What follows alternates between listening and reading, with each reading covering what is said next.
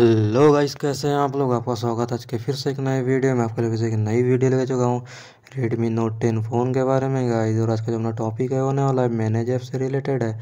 मैं आपको बताने वाला हूँ, आपके फ़ोन में जो है ऐप्स तो है, पर आपको मालूम नहीं कि उनमें कितना डाटा भरा हुआ है, कितने जी तक डाटा भरा हुआ है, या फिर जो आपको जो ऐप है, वो कितने एम की ऐप है, और कितने जी डाटा भरा हुआ है तो उसको बारे में आपको बताने वाला उस को कहाँ से देख सकते हैं कि आपके जो ऐप में कितना डाटा भरा हुआ है। चलिए बात करते हैं। बात करने से पहले हमारी वीडियो को लाइक कर लीजिए, चैनल पर सब्सक्राइब कर लीजिए और बेल के आइकन को प्रेस कर लीजिए गाइस।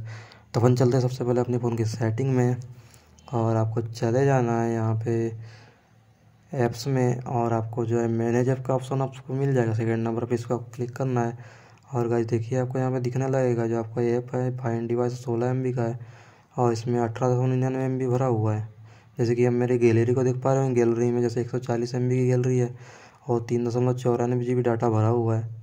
देखिए, इस प्रकार से जो है आप देख पाएँगे अपने ऐप के बारे में, जितने भी आपके जो फ़ोन में ऐप है और कितना डाटा भरा हुआ है।